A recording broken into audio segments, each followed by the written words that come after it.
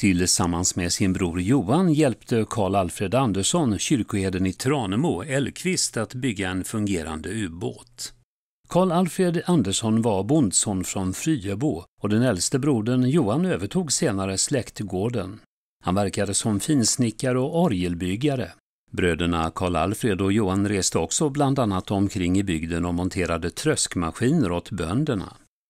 Karl Alfred köpte 1887 Stjärnehults kvarn och vattenfall som då var i förfallets skick. Anläggningen rustades upp och fick sedan namnet Möllefors efter en mjölnare Möller. Med hjälp av vattenfall och turbiner tillverkades där tråd, metallduk, lantbruksmaskiner med mer.